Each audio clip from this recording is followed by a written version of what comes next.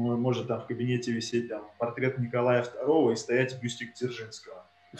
Э, да, для них это вот э, в, порядке вещей. Русская идея, русский мир и так далее. Это все то же самое, это абсолютно та же самая структура. То есть ВЧК, ОГПУ, КГБ, ФСБ – это все одна структура. А, мало того, они сами себя называют чекистами что бы они ни делали, как бы тебя ни пытали, не унижали, э, в твою голову они не залезут, да, и то есть э, твои убеждения они не смогут отнять. А то они спецслужбы, они рядовые солдаты.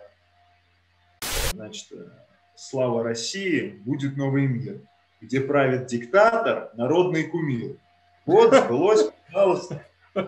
Программа выполнена. Да? Пытка – это преступление более страшное, э, чем убийство, что оно наступает на э, саму свободу воли человека. Человек э, должен понимать вообще, ради чего он живет, какие у него цели в жизни. Россия как страшный сон. Привет, друзья! Игаль на связи. Сегодня с нами Иван Асташин, бывший политзаключенный, который отсидел почти 10 лет в российской тюрьме. Мы поговорим с ним про тюрьму, пытки, терроризм и все, что с этим связано. Оставайтесь с нами. Здорово, Иван. Привет тебе. Привет. Скажи мне, как у вас там сейчас э, в России? Не холодно? Потому что у нас минус 20 здесь на месте. Ну, у нас тоже вот всю Москву снегом занесло. Замело прямо.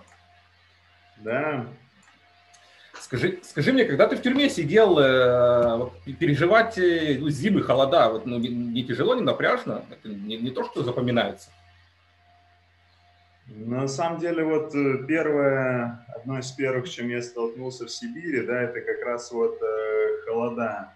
Э, холода, ветра, при том, что когда я первый раз приехал в Красноярск в 2012 году, администрация заключенных обеспечивала минимум одежды, то есть там э, ни какого-то там нательного белья, при том гражданские вещи все забирали. То есть вот выдали тебе просто робу и тоненькую фуфаечку.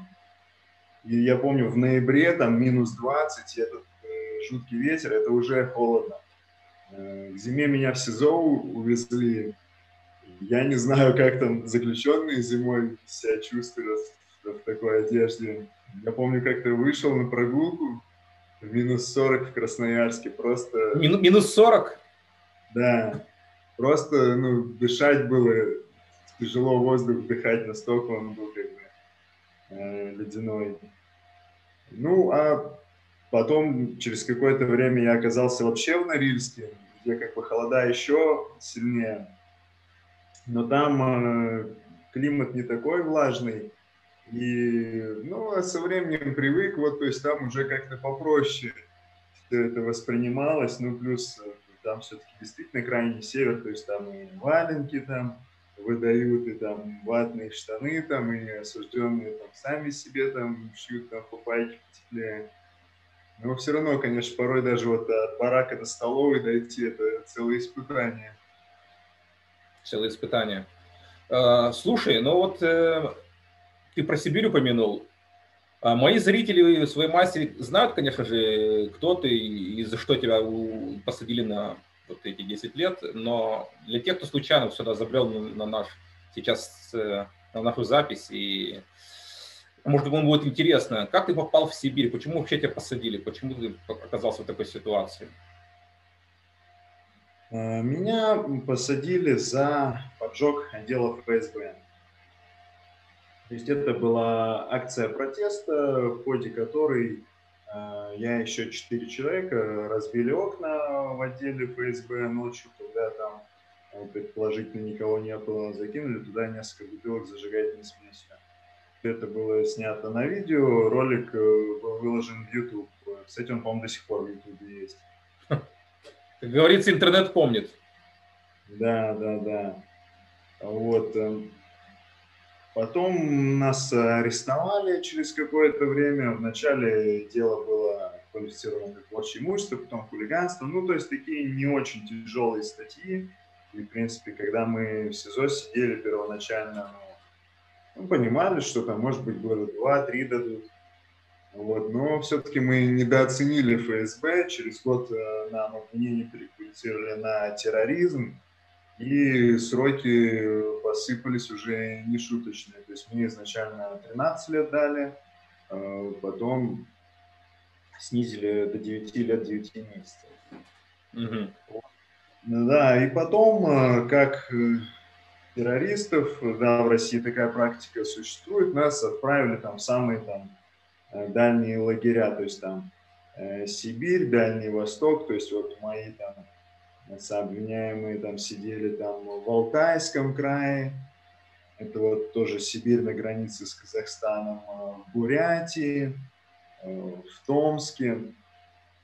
Вот.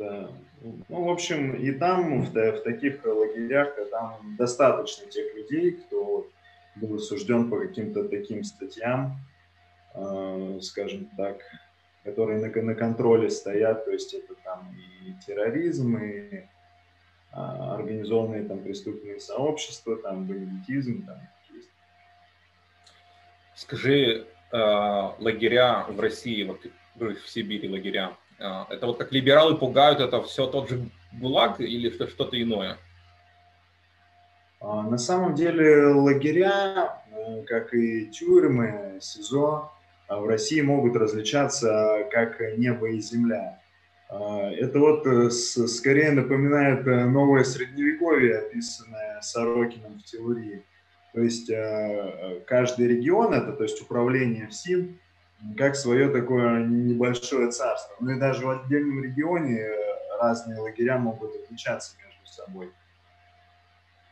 То есть э, есть э, такие лагеря, да, там, где действительно только вот охраняют, а так там заключенные там, ну, делают что, что хотят, и то есть там и телефоны у них там есть, там и наркотики и так далее, и администрация ничего их не заставляет делать.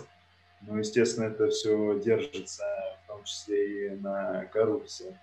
А есть такие лагеря, которые действительно мало чем отличаются от ГУЛАГа. То есть и пытки практикуются, и заключенные работают э, там за бесплатные или за какие-то э, копейки, нет никаких условий. Э, заключенных заставляют там осуществлять там кучу всяких там бессмысленных действий, то есть там это там подъем, отбой, там зарядка, заправка, все по образцу, все должны быть одинаковые, вот там маршировать в некоторых лагерях заставляют, да, это такое есть, такие места. Но при этом, ты говоришь, вас осудили тогда на 13 лет, а, но вину ты, вы не признали. А, мы признавали, что мы совершили эту акцию, но мы не были согласны с квалификацией терроризма. При этом я помню, у себя ты пишешь э, там, в текстах и в интервью, что главный террорист э, в России это ФСБ, так как он садит невиновных, то есть гражданских. А, да, да, то есть даже по той формулировки, которая есть в Уголовном кодексе, она начинается э, примерно так, что это э, там, э, взрыв, поджог или иные действия, устрашающие население. И вот именно я когда читал это в очередной раз, я думаю, блин, кто устрашает население? Мы или вот эта вот организация ФСБ? Вот, поэтому я считаю, да, что в таком случае уж э, не мы тогда террористы, а они. Ну, почему, по-твоему, в России невиновные люди попадают в тюрьму? Всему виновата та система, которая существует, которая сложилась. А, то есть эта система направлена не на благо людей, а на собственное существование. И то есть э, тут, с одной стороны, и отчетность, да, то есть должна быть определенная там э, раскрываемость, чем больше там преступлений раскрыто, тем э, лучше. Э, помимо этого, то, что существует множество вот этих а, антитеррористических, антиэкстремистских отделов, и им надо над чем-то работать.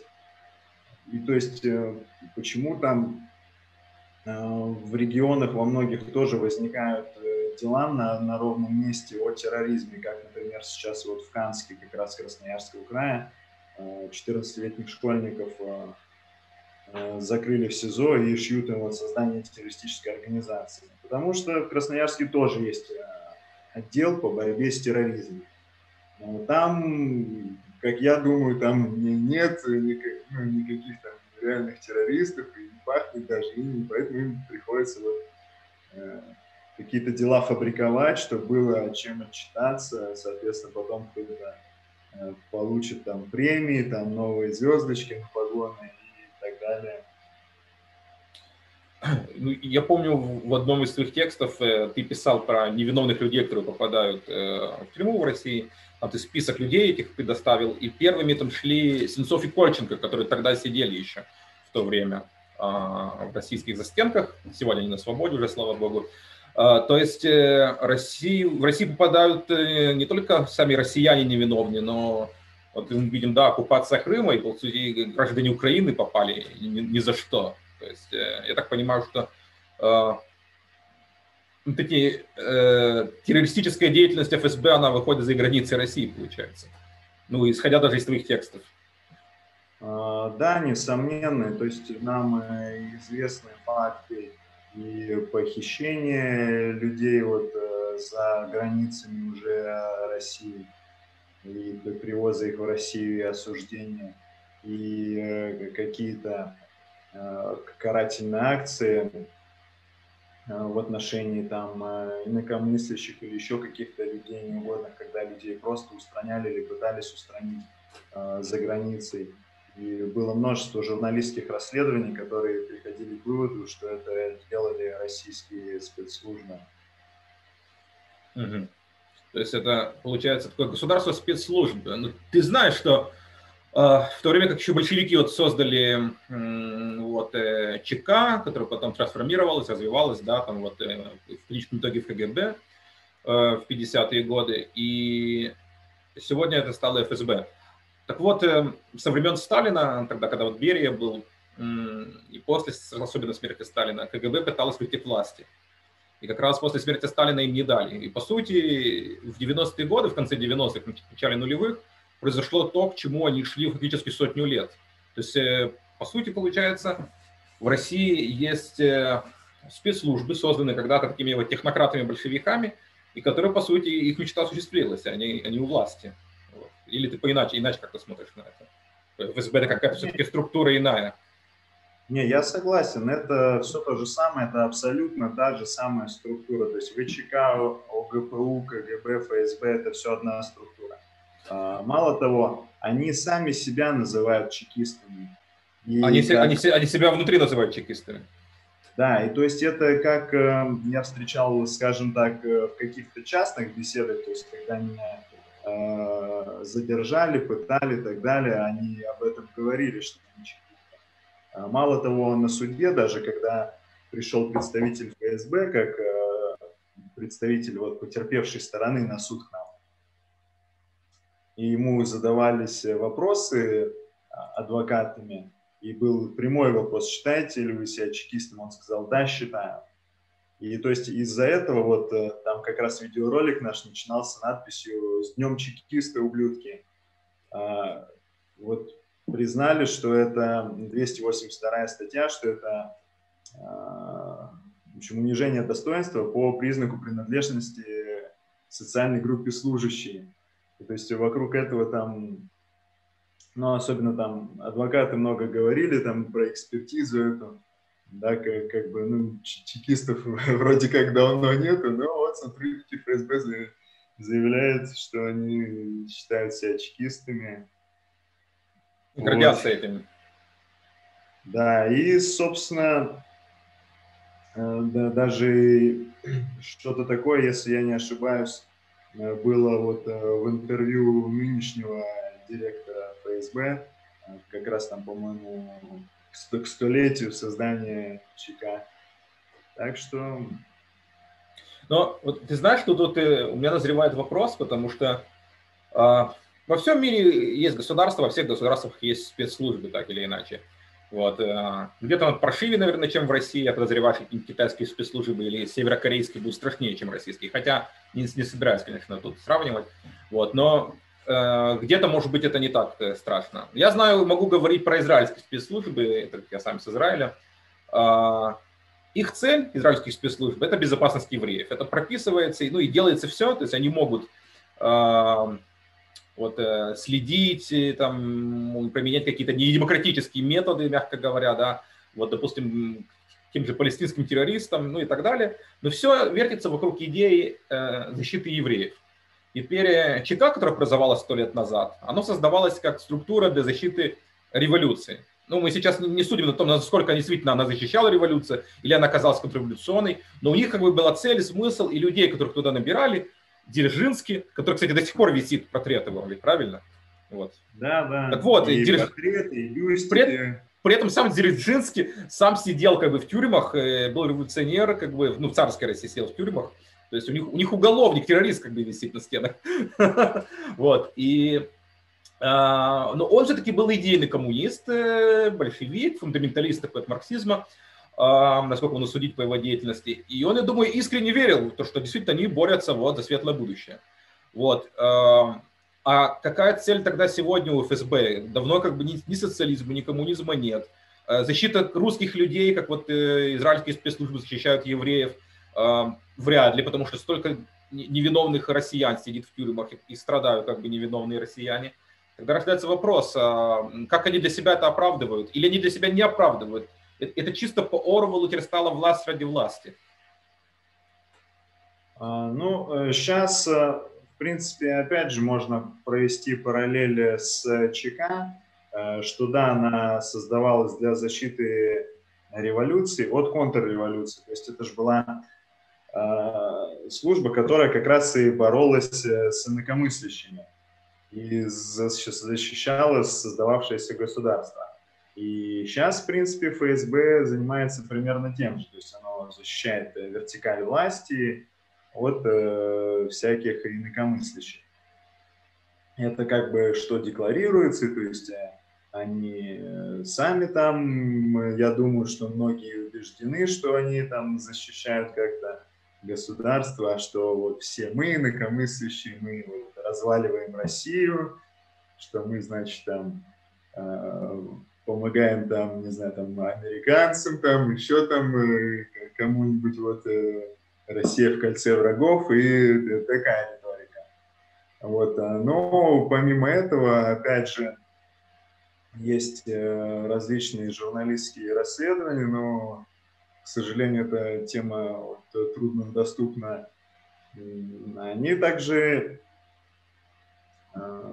и до, до всяких э, различных ресурсов э, добираются, то есть много контролируют различных э, денежных потоков, и то есть сейчас вот это вот все срослось и связано, то есть это вот действительно все все вот пропитано этим, то есть тут как бы и защита вертикали власти, и вот обогащение вот это. Ну, то есть, так что Э, да, из, из, извини, что перебил, э, но чекисты... Ну, в принципе, я закончил мысль. Угу. Ну, вот чекисты защищали вертикаль власти, так как считали, что вертикаль власти строит светлое будущее коммунизм. Теперь у нас идеологии не существует, и защита власти происходит ради защиты власти, по сути. Потому что какая идеология сегодня есть э, в России? Русский мир, но насколько там действительно есть идейные русскомирцы? То есть насколько там есть люди, которые действительно искренне верят, не знаю, вот, в идею русского мира? Понятно. Можно сказать.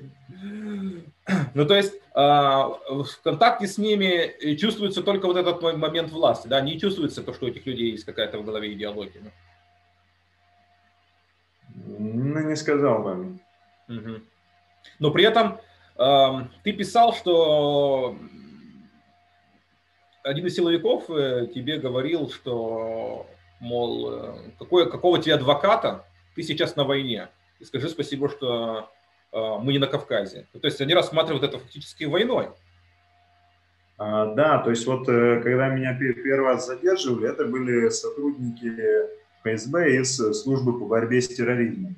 Эти сотрудники, они часто вот ездили на Кавказ в командировки, и то, то есть это, по-моему, вообще отморозки просто конченые. То есть они там и что рассказывали, ну, конечно, э, нельзя там всему их верить, но они на телефонах там демонстрировали, ну, я так понимаю, в качестве устрашения какие-то там э, кадры с Кавказа, как они там человека там к машине за ногу привязывают и тащат его по дороге, там, там отрезанные там головы, еще что-нибудь. И я думаю, что, может быть, они там и когда-то были там э, как-то травмированы всем этим, поэтому такие, ну, в общем, это просто отморозки конченые и садисты к тому же. Ну, слушай, то, то, что ты говоришь, э, э, привязывали к машине, там отрезанные головы, это же методы одной из запрещенной в России организации, небезызвестной.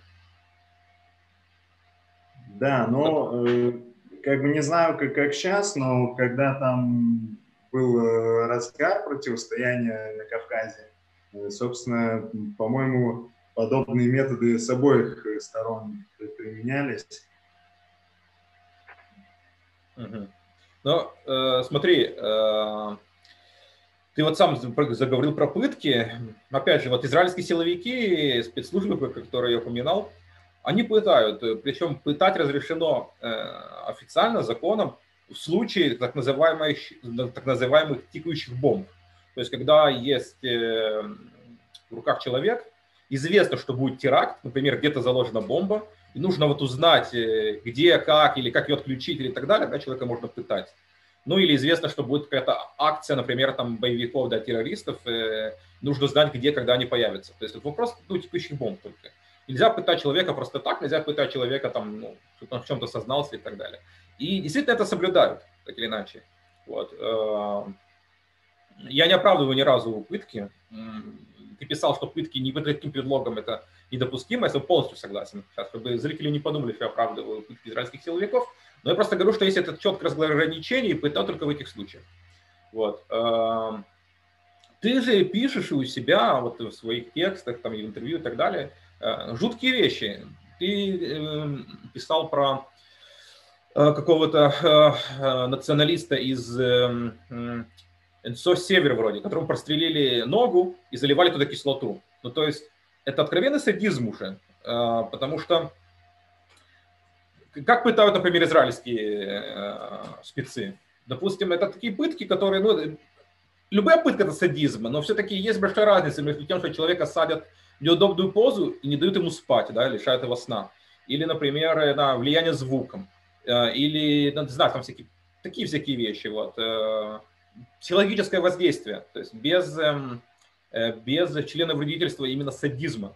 А, но заливать кислоту, прострелить ногу и так далее, это именно садизм. И эм, ты же наверняка читал, что вот знаменитый шоумен от э, нацизма Тисак, который официально э, повесился или вскрылся. Вот. Ну, по фотографиям там очевидно было, что его пытали. И вот на базе выходило большое интервью, где там рассказано, что ему гениталии выжгли э, током фактически и так далее. А, что происходит? Российские силовики садисты, получается, раз им так нравится прямо Э, физически людей пытать, мучить? Ну, по всей видимости, какая-то часть из них э, действительно таковой является. А, то есть э, каким-то более таким мягким методом они прибегают, когда нет другого выбора, да. А, то есть вот я обратил внимание, что в Москве они действительно стараются не оставлять следов. То есть э, меня непосредственно еще ряд людей, с которыми я общался, пытали током и пытали так, что действительно следов э, не, не оставалось. Да? То есть они подключали провода к ногам, потом к голове, но следов никаких нет. А, допустим, где какие-то дела, в которые там правозащитники точно не полезут, или в каких-то там других там регионах, где там их нету, а, они там делают все, что угодно. Причем а, даже касал, казалось бы, Петербург, а, вторая столица, но там ФСБшники себя абсолютно никак не связывают вот этим.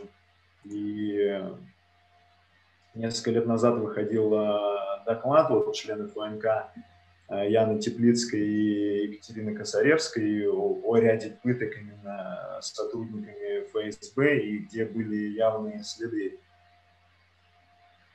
Mm-hmm. То же самое касается вот э, тех, э, кому, как я говорил, не будут там, скорее всего, работать правозащитники, да, то есть вот э, те же там э, националисты, которые убивали там иммигрантов.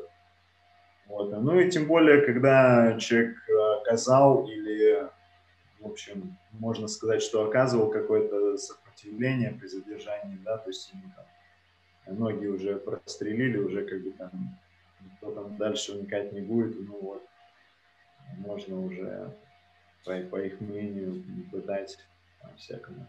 Ну, ну ты, поэтому ты считаешь, что пытать никого нельзя, даже там нацистов, националистов и кого угодно? Да, я считаю, что пытать никого нельзя. Потому что, э, ну, тот, тот же Тесак, э, известно, да, это человек, который и, и убивал, и, и просто на страданиях людей устроил как бы себе имя, построил э, вот шоумен от э, насилия и такой вот э, русской чернухи, такой вот русской хтони. Вот, он все возводил просто в какой-то вот такой фарс и на, на этих всех страданиях людей построил себе имя. Вот. Но ты осуждаешь, что и Тесака пытали в том числе.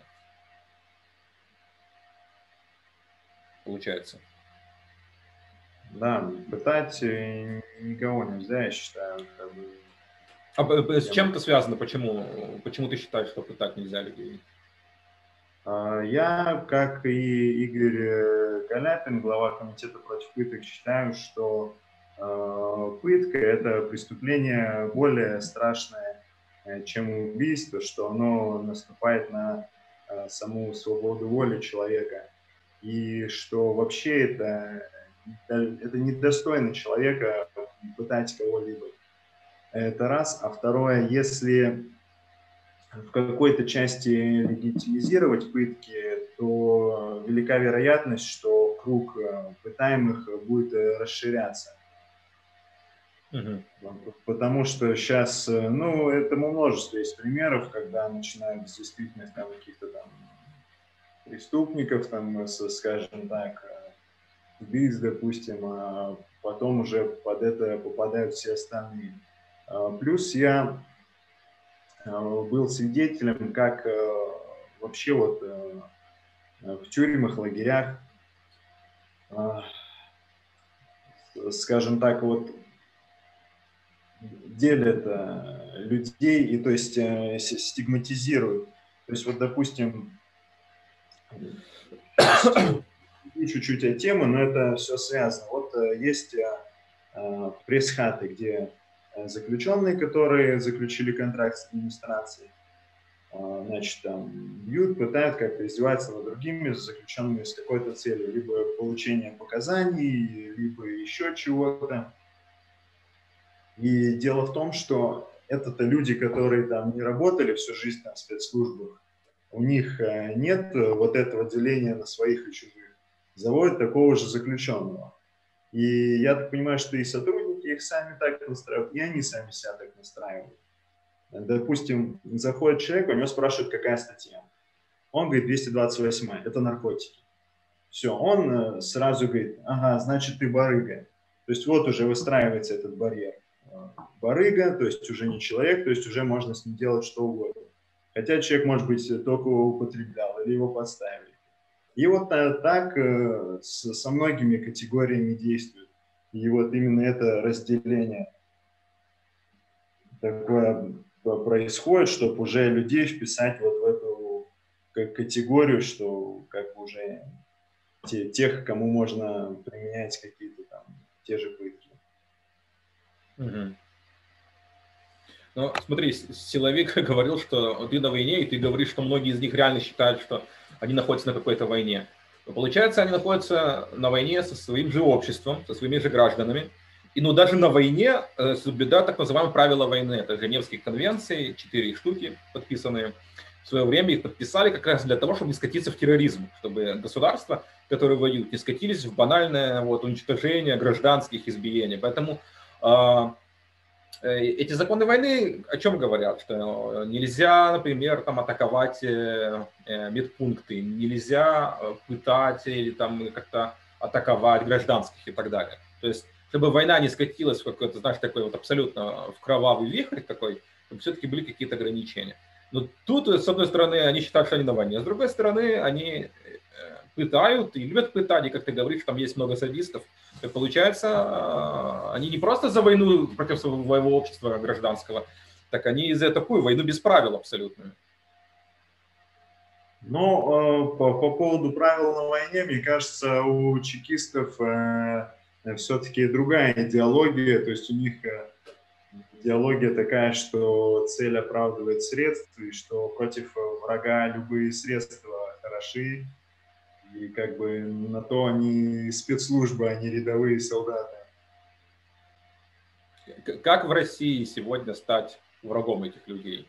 Вот если они говорят, что идет, идет война, то э, любой человек, ты писал, что любой человек может фактически оказаться по ту сторону баррикад от них. Да, то есть э, на самом деле тут не обязательно становиться врагом, просто можно оказаться не в то время, не в том месте. Э, то есть здесь идет э, два параллельных э, процесса. Один – это борьба с, как они считают, идеологическими врагами, а второй процесс – это вот статистика, это палочная система, то есть они просто фабрикуют какие-то дела, чтобы у них была статистика, раскрываемость, там, процветала так называемая борьба с терроризмом. Угу. Ну, да, я помню, ты писал, что Э, когда создается центр по борьбе с терроризмом, то тогда нужен терроризм, раз есть такой центр. Иначе зачем он существует? Конечно. Вот. А если терроризма нет, то его нужно найти. То есть э, это как раз э, тот момент, когда создается структура, а структура уже создает среду, ну, чтобы оправдать свое существование. Но... Да, и, Угу. То есть вот с этими структурами, э, не только там с антитеррористическими, но, допустим, и с антинаркотическими, э, большая проблема, что они не заинтересованы, э, допустим, даже сократить реальное количество там, преступлений. Ну вот если взять антинаркотические эти органы, Потому что если сократятся преступления, то скажут, ну, ребят, вас тут слишком много, надо там сокращать штат или вообще упразднять их дело. Вот, э, поэтому все, э, все это поддерживают. И то есть тут э, получается, что как и реальные, допустим, какие-то преступления продолжают совершаться, так и фабрикуются какие-то для раскрываемости. Ну, причем ну, с темой терроризма как бы все намного сложнее, потому что это такое ну, редкое ну, достаточно редкое явление, то есть тут какую-то статистику сложно проводить. Но вот если брать аналогию, опять же, э, с наркотиками, то, то тут, э, тут зачастую как бы сами органы в этом участвуют. Ну, даже не брать это, то есть как идут там огромные потоки всяких там синтетических э, наркотиков, там распространяются, так они идут а в тюрьмы попадают зачастую там рядовые потребители или мелкие распространители. Ну, вот и угу, вся, да, скажем так, эффективность этой системы. Ну, это как э, у Вековечина было в знаменитом фильме «Леон», этот «Леон профессионал». Ну, тема э, наркотиков, э, когда наркоторговцы и отдел полицейского борьбы с наркотиками – это фактически одно и то же. Да. А, ты в прошлом э, э, получал небольшую сумму денег, когда ты сидел еще за решеткой от Михаила Ходорковского. Вот, и часть этих денег перевел э, приморским партизанам. Вот, э, почему ты считаешь, что их важно поддерживать, и почему ты считаешь, что вообще важно, чтобы именно люди они знали? Ты писал, что во многом твой жест символический, чтобы люди узнали о них, чтобы ты попала в СМИ как-то. Почему это важно? Да, э, дело в том, что эта тема приморских э, партизан, она затронула э, такой конфликт между обществом и как раз силовыми органами.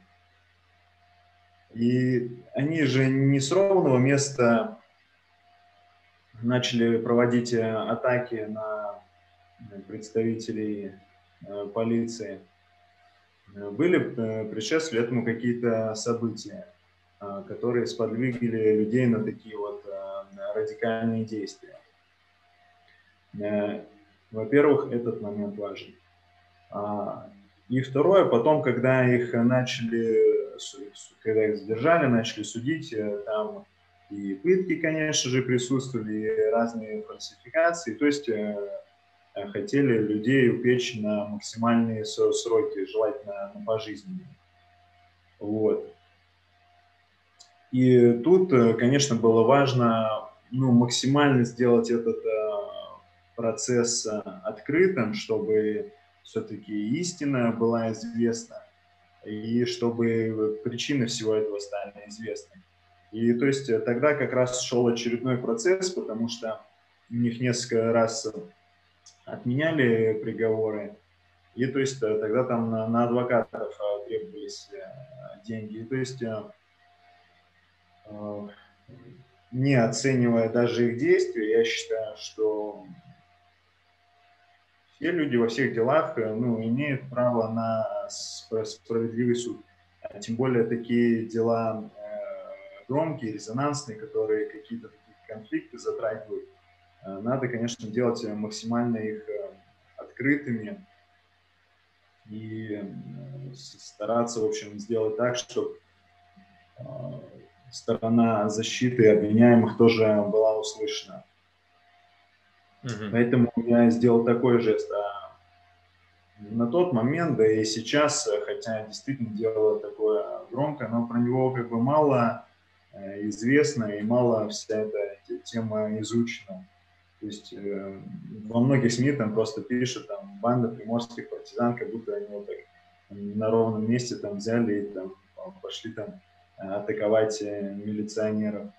Вот. Ну, наверное, что и сами милиционеры были в этом виноваты, что такое началось. И, конечно, надо к таким процессам присматриваться. То есть ты, ты за такое открытое гражданское общество, где в СМИ освещаются любые кейсы, чтобы ничего, даже если это, ну, если действительно речь идет о каких-то вещах, там, о убийствах, терроризме и так далее, все равно это не оставалось где-то за, за кулисами. Да, конечно, я за максимально открытое общество. Скажи, э, что для тебя все-таки было самое э, тяжелое? Э, самое тяжелое, с одной стороны, и с другой стороны, самое страшное за эти почти 10 лет. Вот. Ну, наверное, самое страшное все-таки это был вот э, первый арест и последовавшие за ним пытки, а так как э, когда с этим впервые сталкиваешься, ну, конечно, это страшно, просто вся твоя реальность переворачивается Э, с ног на голову. И, да и, наверное, и тяжело так, когда уже не было, потому что, ну, все в дальнейшем уже все равно как бы ты лишен свободы, и все как-то с этим связано. То есть где-то получше, где-то похуже. А вот именно вот это первое, тем более все как бы проходило очень жестко и неожиданно, и Вначале даже было сложно поверить, что это все за правду, что это не чей-то э, розыгрыш. Да, ну и просто, когда ты оказываешься один на один э, с вот этой системой, причем системой, которую ты знал, что она нехорошая, вот, но насколько она на самом деле жуткая, я, оказывается, даже и не знал. Вот. Ну, а потом еще достаточно такой тяжелый момент, то есть э, в СИЗО московском, когда я сидел, ну, там, в принципе, все вокруг примерно в, в таком же состоянии, то есть там были там э, арестованы, вот там ожидают срока. Ну и плюс как-то пока еще срока нет, там разных там вещах думаешь. Потом, когда срок дают, э, сразу как бы это ну, невозможно осознать, вот там 13 лет. А потом, когда уже привезли Красноярск, ВК-17, вот в этот э, режимный лагерь, и когда просто смотришь на эти одинаковые робы, когда ты просто стоишь э, по полчаса на, на плацу на этом морозе, и тогда просто осознаешь об этом, что еще 10 лет вот сидеть в этом концлагере, ну, да, вот это тоже такой тяжелый момент был. То, то есть э, тяжело не сам быт, а осознание от э, длительности, что это еще все долго будет. Да, длительности и вот именно этих условий, потому что условия это тоже э, по-разному сказываются. И вот там первое время для меня действительно не каждый день тянулся как неделя, потому что это бесконечная череда вот этих режимных мероприятий, то есть там подъем в 5.30, там, зарядка, проверка, это вот когда полчаса на плацу стоишь, просто там, пока они там весь лагерь там считают, или там просто стоишь, там всякие там смотры там, там, там, просмотры там всяких там пропагандистских там симовских видеороликов в обязательном порядке там два часа в день. Ну, действительно, просто вот у тебя там все расписано. Ты э, вот сказал слово, которое я не часто слышу по отношению к характеристикам к чему-то, что система жуткая. А, поэтому люди, которые оппозиционные власти в России, которые выходят на протесты и так далее, и так далее, это, получается, люди, которые просто не понимают, что им противостоит жуткая система, или они настолько бесстрашны и не боятся этого, или это какие-то глупые люди. Вот как же так получается, что если система жуткая, но у нас все равно столько людей все-таки так или иначе недовольны или бросают вызов? Ну, на самом деле, я думаю, что действительно многие люди недооценивают эту систему. И тут еще вопрос, э, ну, это, наверное, можно сравнить э, с кругами ада. То есть, если тебя там просто задержали на митинге, там, привезли в ментовку, это там первый круг. Э, там, еще там куда-то там второй, третий, вот там дальше уже там будет там, допустим, там центр Э, там, а уже там самый последний это э, ФСБ. И хотя э, в ментовках-то я несколько раз бывал до этого, вот, ну, это, в общем-то, действительно совсем не страшно, ну, посидишь там в отделе там несколько часов, там, ну, даже там с, с ночевкой, ну, ничего такого страшного не происходит никто там тебя не бьет, не пытает. Даже там один-два раза ударят, но э, как, как бы сейчас это я уже там не считаю там за избиение, ну как бы следов не осталось, ну значит нормально все. Вот. А тут просто получается я сразу попал вот на последний э, круг ада, когда просто э, еще, конечно, ну я просто вообще не мог такого представить, тем более тогда не было, меня задержали через 4 дня после 18-летия. То есть вот это 18 лет исполнилось, через 4 дня меня задержали.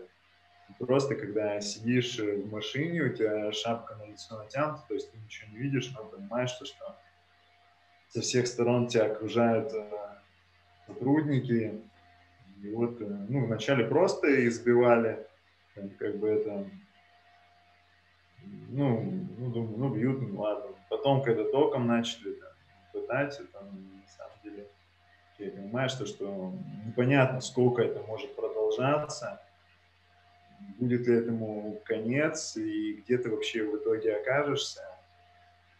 И тем более вот все эти вещи, о которых я говорил, параллельно говорятся, то есть это, видимо, у них такая тактика запугивания, то есть они такие пытки и параллельно там рассказывают там, что, как они там на Кавказе там делали в отношении каких-то других там э, людей. Параллельно там могут там рассказать, что они там планируют в дальнейшем с тобой делать там, или там делать с твоими там обвиняемыми, допустим. Много шантажируют, да, применяют шантаж. Близким, да. друзьям, родственников. Да. То есть, то есть это тоже такой инструмент, который распространен. Да, вот то есть у меня, допустим, один с обвиняемый, его отец военный, то есть э, ему непосредственно угрожали, что будут э, проблемы у его отца, да, то есть что его уволят, и, соответственно, вся его как бы, жизнь пойдет э, под откос. Вот, а, а в моем случае э, моя сообвиняемая, вот мы, соответственно, мы с ней были в отношениях, то есть это тоже были угрозы в отношении моего близкого человека, и тоже, конечно, они этим пользовались. Ее тоже пытали? А, да, причем, ну вот мы вдвоем в квартире были, меня увезли сразу, она оставалась в квартире. Они там, видать, просто что под руку попалось, вот э, бутылкой с маслом по голове ее били, причем потом даже был зафиксирован, был зафиксировано сотрясение мозга.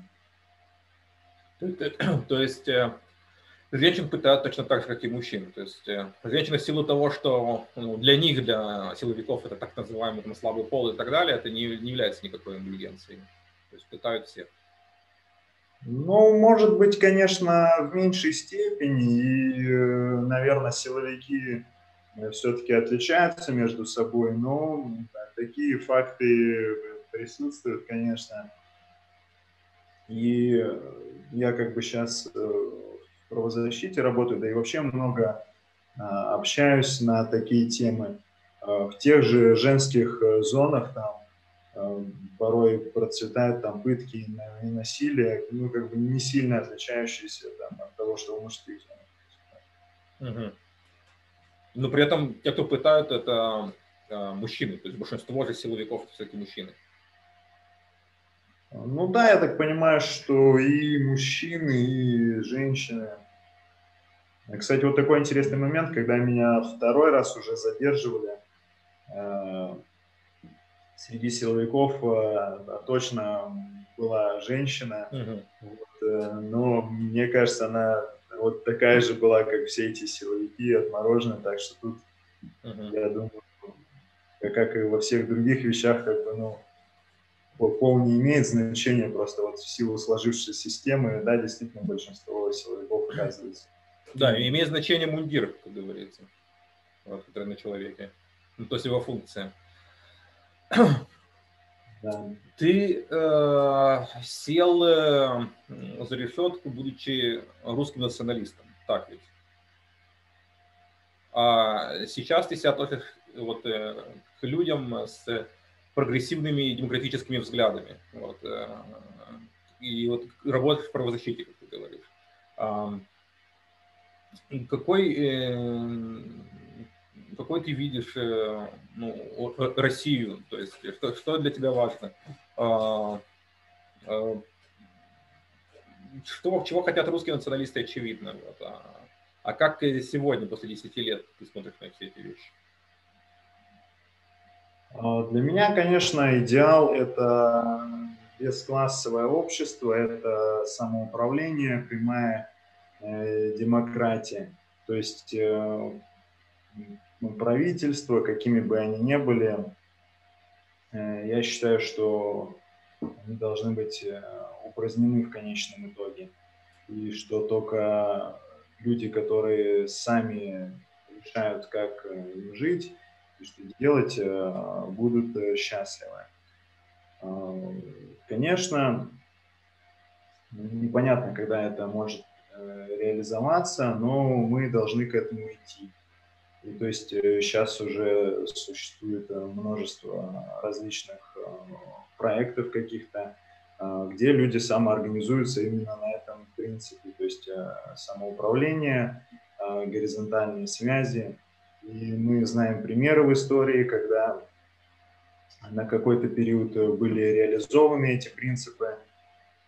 В той же Испании, да, во время гражданской войны, там вот анархисты самоорганизовывались и вполне успешно, так что, в принципе, я считаю, что все это возможно, но, конечно, э, людей надо готовить к этому, потому что в России, к сожалению, многие люди не представляют, как жить без царя, и их представления таковы, что надо просто плохого царя поменять на хорошего.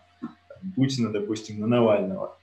Вот. Но я так не считаю. Я считаю, что нам никакого царя не надо. Вот. И что люди вполне могут э, справляться и без э, царя. Без царей. Как говорится, бей царей, но не лысей. Вот. Ну, имеется в виду не становиться как большевики Лениным. А, это, одних царей поменяли на других царей, на генсеков. Но вот э, ты сам говоришь, что правительство и так далее должны быть упразднены. Ну, то есть все те, кто выступают за прямую демократию, создают эти вот структуры и так далее, по сути, они находятся в состоянии войны, получается, с этими правительствами, раз они, хотят их упразднить. Ведь э, никто не захочет, чтобы его лишили власти, привилегий, ну, добровольно. То есть упразднение не будет э, как бы каким-то а, простым, легким. Конечно.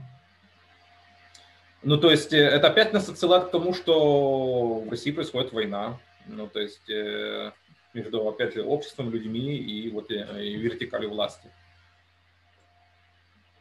Да, то, что в России война между обществом и властью, это сейчас просто заметно невооруженным глазом. Я сейчас, когда освободился, и приехал в Москву, я на самом деле был сильно удивлен тем количеством силовиков, которое сейчас стало, то есть э, за 10 лет их э, количество увеличилось, то есть сейчас там и помимо полиции еще и Росгвардия, э, тут проверки на, на каждом шагу.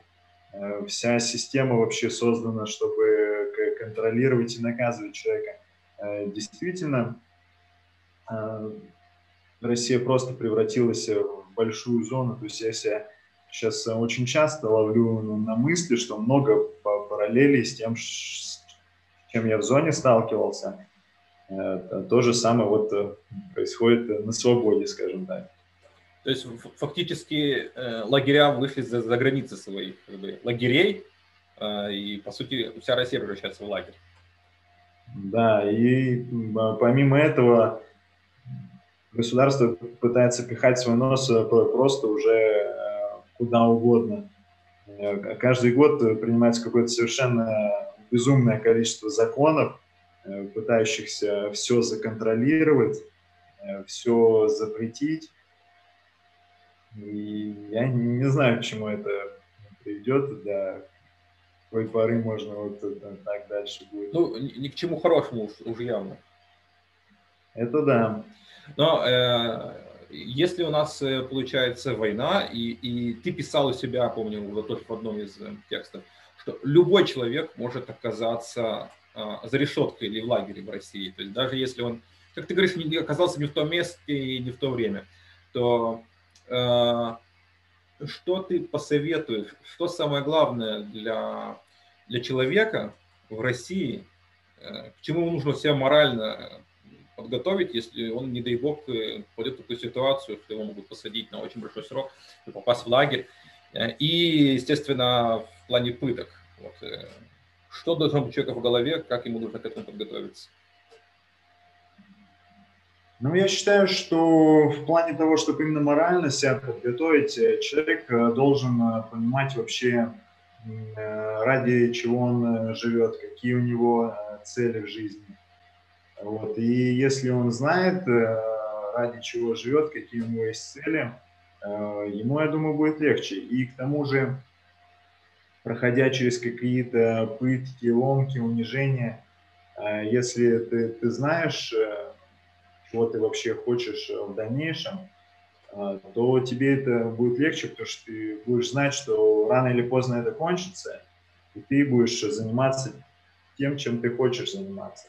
Помимо этого, нужно понимать, что что бы они ни делали, как бы тебя ни пытали, не унижали, в твою голову они не залезут, да, и то есть э, твои убеждения они не смогут отнять.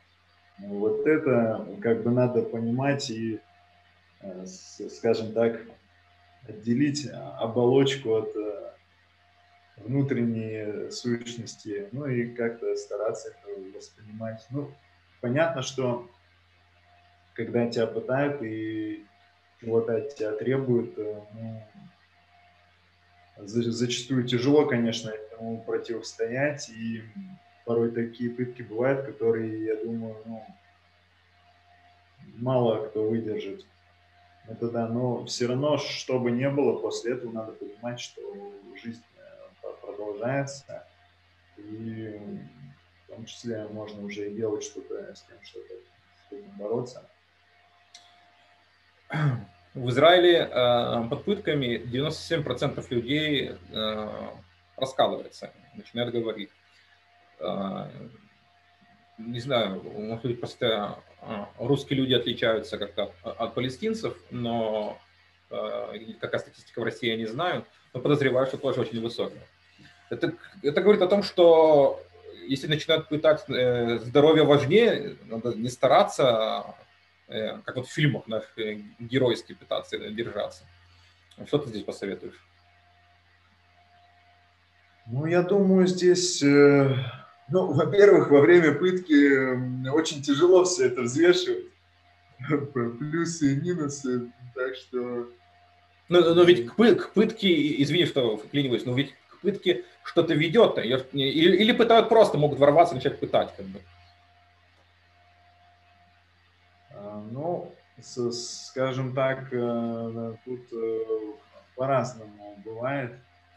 И, то есть э, порой задерживают действительно людей, которые там не причастны, не делали к чему-то.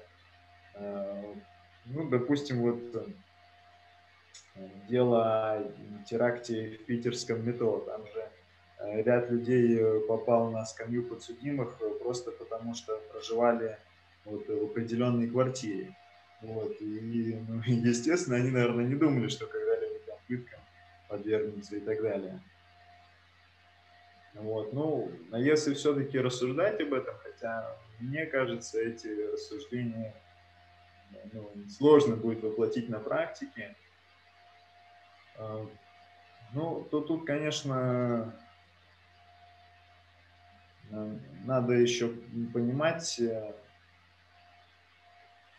ну, сопоставлять как-то. Вообще, признания в России любые это ну, очень плохо. От них потом ну, как бы никак не откажешься, они все равно лягут в основу обвинения. Uh-huh. Вот. Эм, и если в отношении себя человек, допустим, может там, поставить на чашу весов, там, допустим, здоровье, десятилетний срок, то, допустим, когда идет э, речь о других, вот, ну, тут, мне кажется, это ну, нельзя сравнить, да, то есть там, если там требует от человека дать показания на другого. Вот.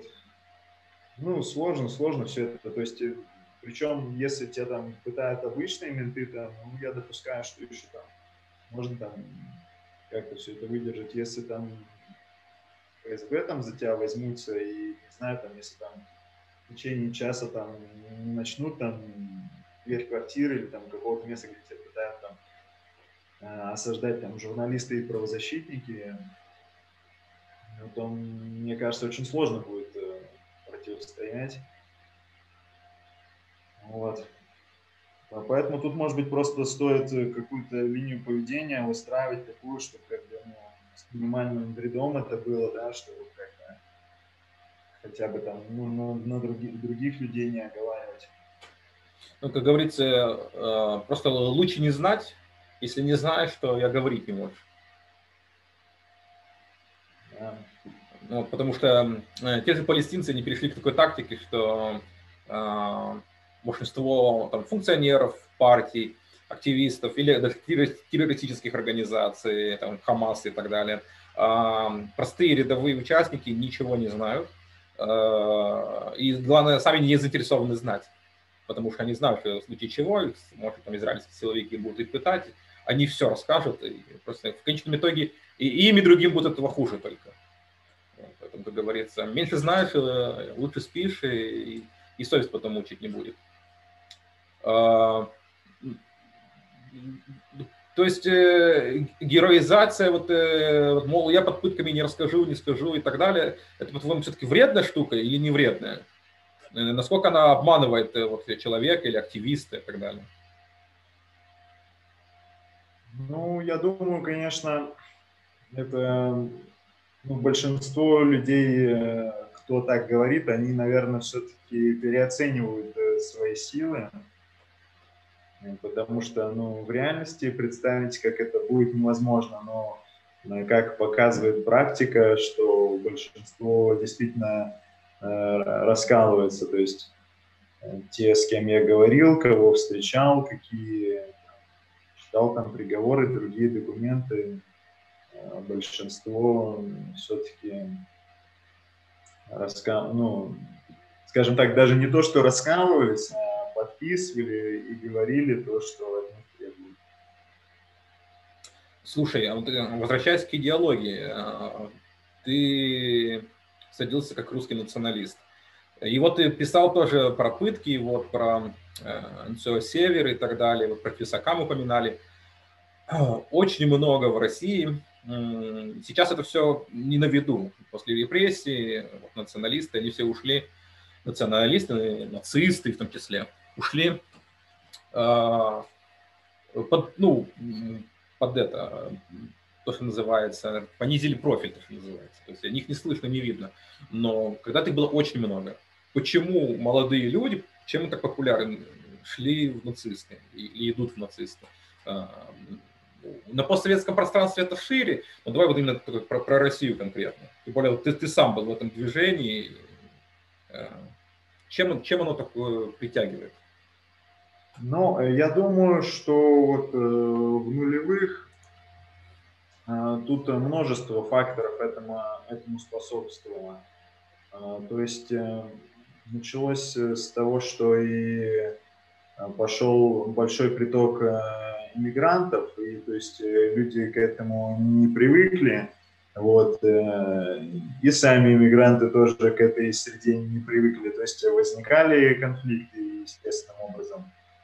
Вот, помимо этого, экономическая ситуация была не на высшем уровне. И то есть э, определенные политические лидеры начали проталкивать идею, что вот иммигранты отбирают рабочие места значит, русских, там, у коренных э, жителей. Вот, э, и волна эта была подхвачена, то есть было создано множество различных партий, организаций, а, плюс, я думаю, такую риторику поддерживали, опять же, многие силовики. То есть эм, известно там масса историй, там, как и отпускали там из отделов там таких ребят, которые, не знаю, там шли там грамотированных там.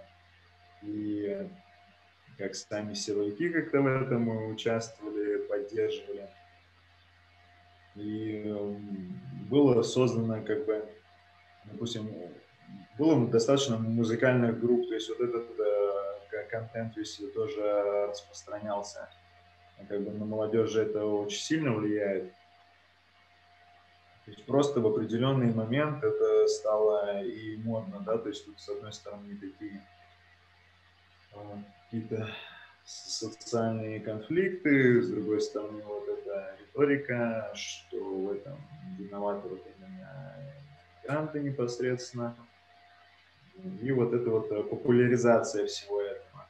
А, ну, что касается непосредственно популярности э, нацизма, то тут э, вся вот эта как сказать, ну, в общем, очень привлекательная вся эта эстетика там Третьего Рейха, все там эти там пластики там, орлы, действительно те, кто это ну, создавал, я не знаю, либо им повезло, либо они, может быть, как-то разбирались в этом, что притягивает внимание людей. Но действительно это э, почему-то очень привлекательная эстетика. Вот, и молодежь это зацепляла. И потом да, дальше по нарастающей просто все распространялось. Но при этом э, русские нацисты убивали, очень много людей убили. Э, разве просто за эстетику можно убивать? Наверное, просто помимо эстетики было еще что-то.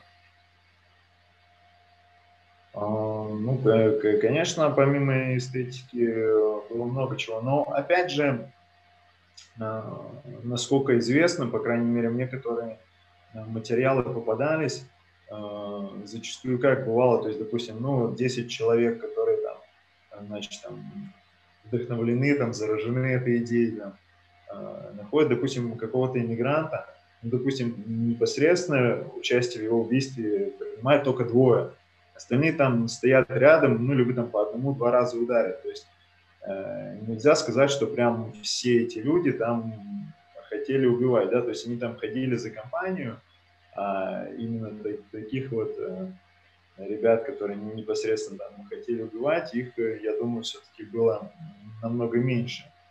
То, то есть какое-то инициативное меньшинство повязывало кровью остальных фактически, так как они становились причастны. Получается так. Плюс э, получается, если ты говоришь, такая ситуация, когда там большинство просто наблюдает, но потом, если у нас среда, которая культивирует это, то типа, чтобы быть, типа, быть мужиком, быть тру, быть настоящим нацистом, то нужно соответствовать, то есть нужно тоже убить и так далее. Да, да, конечно, и такие идеи тоже культивировались. И, ну, в любом случае, то есть, если есть э, какая-то идея, ну, надо же какие-то действия предпринимать. И поскольку никаких там других действий там не предполагалось, все в это выливалось. То есть, если, допустим, вот есть там демократическая идея, ну, допустим, и вот как бы ее ре реализовывать там любой человек может там чем там выходов на митинг, допустим. Там в данном случае вот э, как, как мог человек реализовывать? Ну, вот надо там бить там мигрантов там или убивать там. Угу.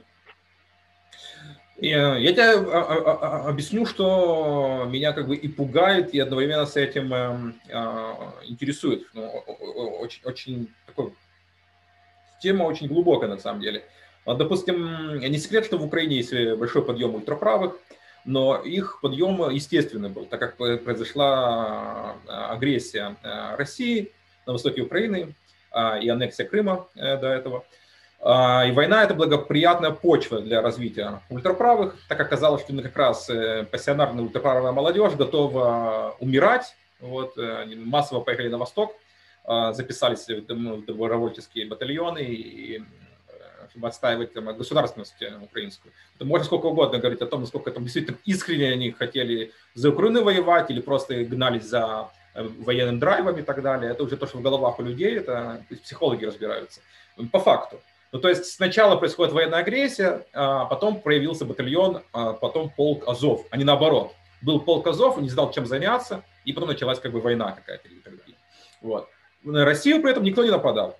Но э, в России мы видим, что нацисты всюду, это начиная от э, какого-нибудь э, Рогозина, который глава Роскосмоса, но при этом который был нацистом. Я, э, никто не говорит, что он от убеждений отказался, он нигде никаких расписок не давал, что он больше как бы вот, не зигомет. Вот. Причем не националист, а именно нацист. Вот. И глава Роскосмоса.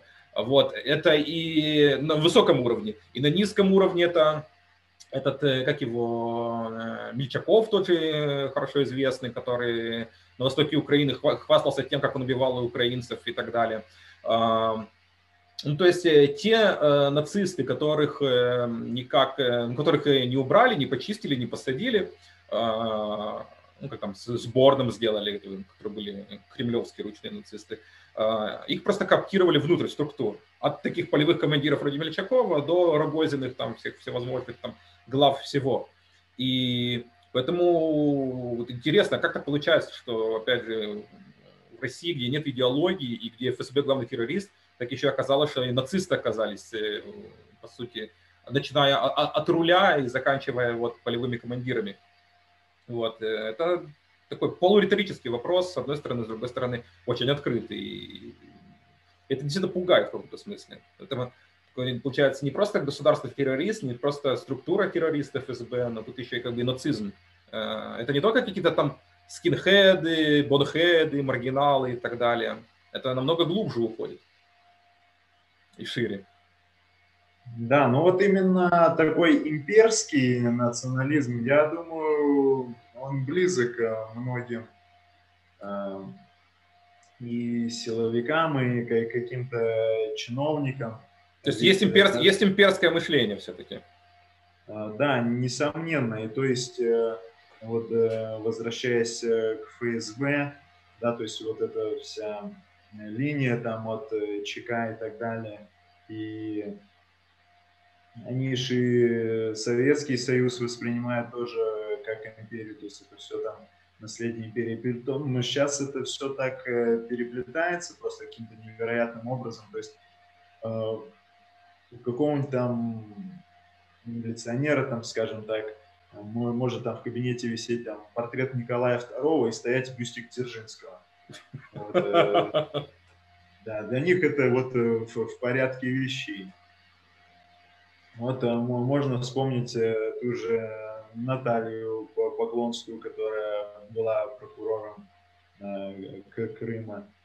Э, хватает такого, ну, у кого-то там, как у нее это прямо там до безумства, ну, у кого-то более умеренно, но э, тем не менее очень многим, как я отмечаю, эти идеи близки. И, то есть вот в такой форме национализм, то есть не какой-то антигосударственный, антисистемный, а именно такой, он э, близок. Ну и по сути, почему э, сейчас нет какого-то э, такого националистического движения в России? Потому что националистическую повестку под себя забрало государство. В принципе, вот она русская идея, русский мир и так далее. И если вспомнить, о чем пелось там в 90-х, там, в песнях там э, скинхедов, да, вот я сейчас э, просто вспоминаю, это, можно сказать, э, пророческие строки там э, были, значит, слава России, будет новый мир, где правит диктатор, народный кумир. Вот, сбылось, пожалуйста. Программа выполнена. Да? Ну, то есть, помимо того, что националистов и, или, с одной стороны, э, репрессировали, прижали, с другой стороны, кооптировали в структуры, так еще и выполнили программу, по сути. Да, получается так. То есть, в принципе, все проблемы решены. И э, врагов нет, и все, все довольны, да, программа выполнена, и, собственно, ну, не, нет и почвы, чтобы что-то подобное появлялось. Понятно. Смотри, ты говоришь, что ты работаешь э, в правозащите сейчас. Э, напоследок, э, как правозащитник, что ты можешь гражданам России посоветовать? Какие-то ну, важные вещи, что нужно знать сегодня гражданскому активисту вот, в Российской Федерации? Что важно знать?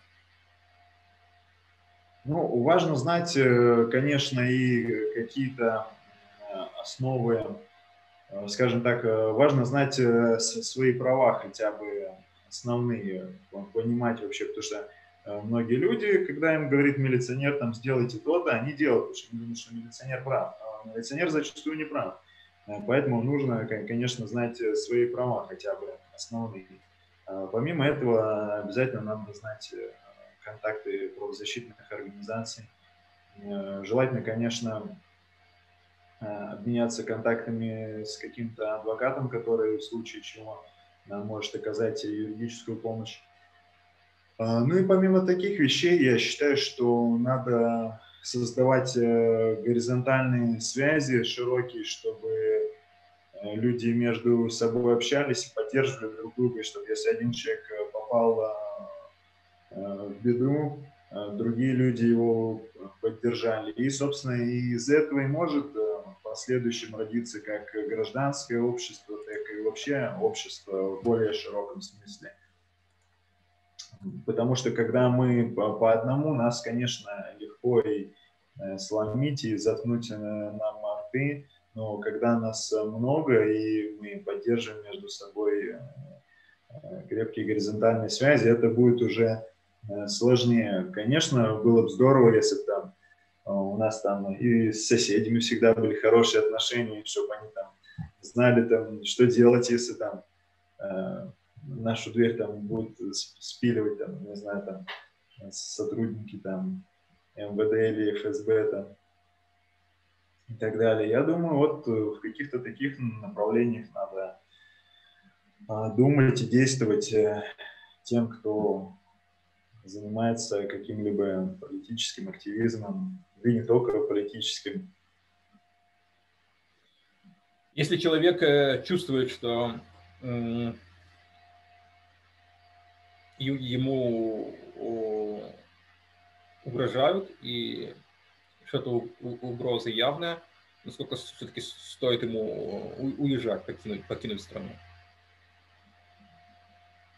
Ну, э, я считаю, что уезжать надо, конечно, в крайнем случае. То есть, э, если есть э, большая вероятность или уже заведено уголовное дело, которое предусматривает э, солидную санкцию.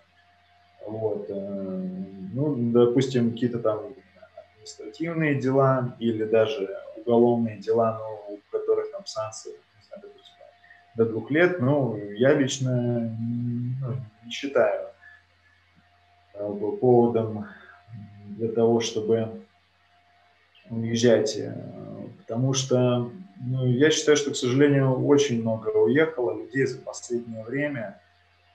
А вот. Ну а если все будут уезжать, то кто здесь будет что-то менять будет поддерживать э, даже тех, кто находится в тюрьмах и лагерях. Поэтому, конечно, это нежелательно, но если действительно там уголовное дело и статья там, предусматривает там, больше пяти лет там, лишения свободы, то, конечно, надо уезжать. Вот. Э, опять же, и из-за границы можно и поддерживать, и что-то делать для того, чтобы менялась ситуация в России. Вот. Э, кто-то много делает, кто-то, к сожалению, уезжает и просто забывает Россию как страшный сон. Россия как страшный сон. Да. Слушай, но э, мне на самом деле было очень интересно тебя послушать. Я думаю, что зрителям тоже будет важно вещи узнать, еще раз убедиться, что э, пытки и так далее, это не какие-то там рассказы, бредни или какие-то там придумки, вот, э, не знаю, госдеповцев, не знаю, соросят кого-то там и так далее, что это реальность, к сожалению, ну, сам, самая настоящая реальность, когда, как знаешь, такой французский э, философ, мыслитель э, Прудон э, вот, говорил, что там собственность это кража, убийство, рабство это убийство, а пытки получается убийство личности, вот, так как ты ведешь себя не, не так, как ты себя ну, вообще ну, можешь вести, должен вести. Вот, по сути, если развивать его, его мысли дальше. Вот. И это действительно жутко, действительно страшно. А, а помножить это все на то, что мы говорили, вот, и, и, и, империя, имперский какой-то нарратив – э, нацисты, которые там у власти и так далее, то это становится втройне жутко. Имперцы, да, КГБисты, чекисты у власти, это действительно э, страшно. Э, я только тут, тут э, буквально пару слов ставлю. Э, не только граждане России страдают от ФСБ. Известно, что один из архитекторов войны на востоке Украины был э, называемый Стрелков Игорь Гиркин – который полковник ФСБ. Вот, и без него э, не, не было бы э, не, всего того, что происходит на Донбассе сейчас. Вот. Э, известно, что снайперы ФСБ в том числе поддерживают российских прокси, коллаборантов на, на Востоке, э, убивают украинцев, украинских солдат и так далее. То есть э, А, терроризм ФСБ выходит, да, как, как, как ты и говорил, за границей России широко, вот, э, терроризируя и своих соседей, и не только. Вот, так что э, это, к сожалению, да, реальность, вот, э, которой, да, надо гражданским активистам быть готовы к этой реальности. А, хорошо, если тебе нечем что-то еще добавить, может быть, нашим зрителям, вот, то э, будем с тобой прощаться. Все. Спасибо всем, э, друзья, что были с нами. Мне кажется, что было интересно. А, пишите в комментариях, задавайте вопросы. Я уверен, что Иван прочитает, ответит. Э, ставьте лайки, дизлайки и так далее. Вот. Так что всем салют.